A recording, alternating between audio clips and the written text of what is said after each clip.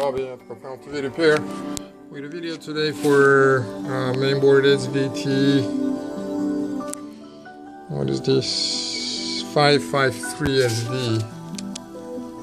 I don't know if you can see that.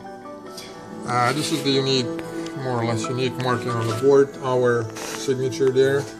Uh, it was returned to us after repair because uh, customer said he does not uh, find channels from the tuner and uh, first things first let me take that. Uh, this is the setup.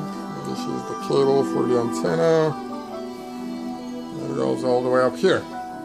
And this is our HDMI with the usual.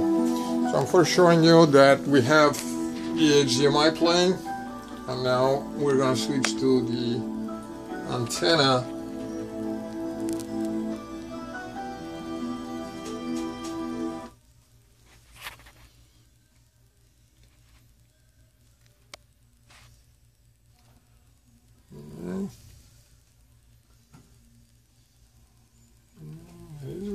in this TV. Now let's go to channels. The reception here is not very good, so it may take a while. Come on. I just search now. The reason for that was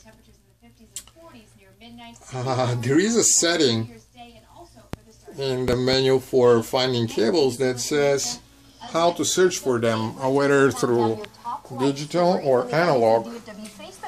And it was set on analog. Disconnect that and you will hear it stop. There you go. Hope that is enough. Uh, make sure that the search setting is on digital when searching channels. Thank you.